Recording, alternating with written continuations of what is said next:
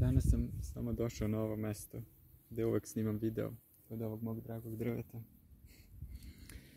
I nemam neku temu o kojoj bih pričao. Samo sam osjetio potrebu da, da snimim video i da pustim da teče. Tako da ono što izađe može podjednako da iznenadi i mene, što će možda iznenaditi i vas. A, došao sam ovdje i bukvalno sam iza na livadi sreo dva konja koji su tako mirno postojali, samo bili tu u trenutku i oni pasu travu i uživaju tako u tom, u tom plesu prirode. Baš mi je to fascinantno i uvek me natjera da se zapitam zašto čovjek komplikuje život i zašto zašto čovjek ne može da pleše sa prirodom. I da li zaista ne može ili samo u uverenju da ne može. Tako gledam ta dva konja. Malo sam snimao ih, malo pričao sa njima, malo podijelio ljubavi sa njima. I jednostavno sam shvatio da u životu nam ne treba uopšte previše toga. I verujem da ćemo svi u nekom narednom periodu težiti da što više pojednostavimo svoj život. Jer jednostavno je najlepše.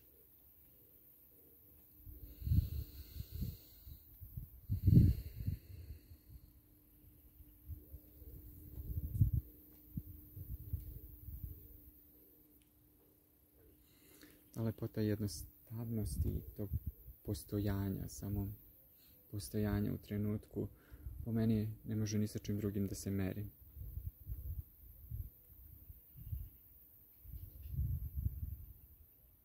Čak i mravi ovako dok hodaju, oni deluju užurbano, ali oni znaju svoju ulogu i znaju gdje su krenuli. I nekako se sad u ovom dobu čini da jedino čovjek ne zna kuda je krenuo i da jedino čovjek ne zna ne zna koji je njegov, njegov put i zaista ima jako velikih ljudi imaju jako velikih izazova da uopšte vide putanju u kojem je potrebno da idu. I sada ceo paradoks je u tome što što više truda ulažemo, sve će nam teže biti da uvidimo svoj put. Jer put je tu, put je ono što nam mravi i ovi konji pokazuju. Put je da samo budemo u tom trenutku prisutni kakav god trenutak daje. Mislim da je današnjem čovjeku zaista izazovno da bude prisutan u trenutku baš zbog tih informacija koje su sve prisutne. I postoje izazov da dođemo ovako u prirodu i da sednemo, da se uzemljimo, da se povežemo sa prirodom i da damo sebi dozvolu da samo budemo. Mrav. Dajemo samo sebi dozvolu da budemo i da ne moramo ništa drugo u tom trenutku. Baš ništa. Znači, samo da dišemo i da budemo. I jednom kada to uvidimo, onda takve trenutke stalno sebi dozvoljavamo i shvatamo da šta god da radimo i kada radimo stvari koje volimo, nažalost, vrlo često radimo stvari u životu koje ne volimo još uvek, ali kada, i kada radimo stvari koje volimo i to nas energetski crpi, bez obzira što nešto volimo, mi smo energetska bića i energija se troši i stalno cirkuliše, transformiše se. Čak i kada radimo to što volimo, mi se trošimo i moramo naći momente da se regenerišemo, da napunimo baterije na ovaj ili na onaj način.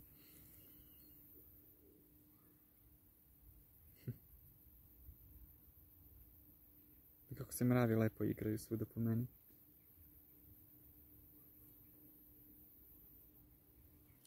I kako konje nije briga da li neko gleda, oni samo postoje. Eto, toliko toga može se nauči. Toliko toga čovjek može da uči samo kada da sebi dozvolu da posmatra svet oko sebe, da posmatra to jedinstvo i tu prirodu i da ne žuri nigdje. Nema potrebe da se žuri jer uvijek se stigne. Nije li to predivno? Šta vi mislite? Ja mislim da nema potrebe zaista ni da se žuri, ni da se juri, ni da se da se za nečim žudi, jer što manje napora ulažemo u život, život je lepši i jednostavniji. Čim ulažemo napor, nije li to velika ironija? Ako u nešto ulažemo preveliki napor, onda to možda nije za nas.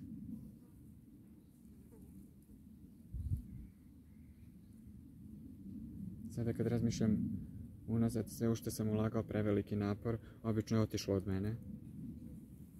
Bila to, to osoba, bio to posao, bio šta god. Ali kad nešto radimo sa ljubavlju i baš zato što je to deo nas i što što nas prožima u potpunosti onda jednostavno nema tolikog napora. Zato što energija cirkuliše, vibracija sa kojom radimo je vrlo visoka, približna ljubavi i zahvalnosti. I onda jednostavno ne možemo da na niskoj vibraciji budemo. Možemo naravno, ali u većini slučajeva nismo, jer smo u skladu sa prirodom, u skladu smo sa onim što radimo i što volimo i sa onim što jesmo. A jesmo ništa drugo nego majka priroda.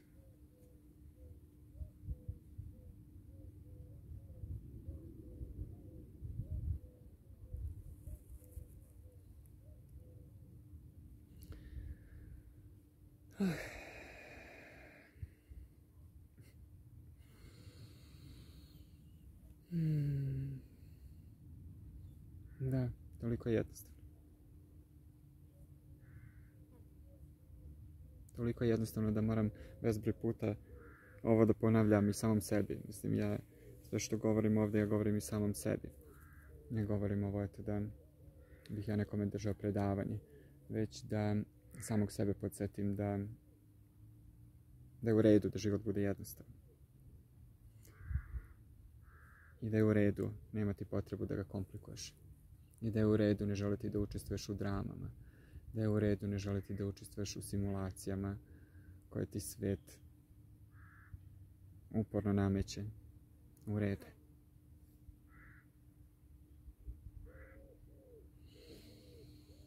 Hmm.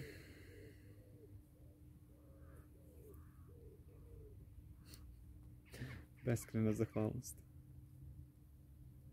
Želim vam divan dan, Bog vas blagoslovi.